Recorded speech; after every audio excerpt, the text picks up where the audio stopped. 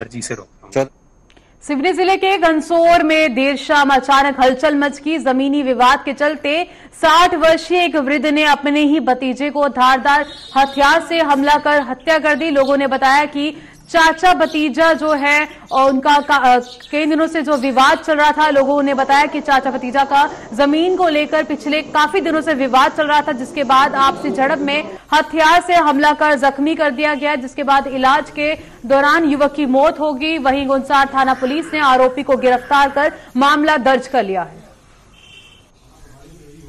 कल थाना घनसोर अंतर्गत एक हत्या का मामला आया है।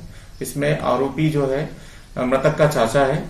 उनमें जम, आ, मकान की ज़मीन को लेकर इशू था पुराना कोई रंजिश थी।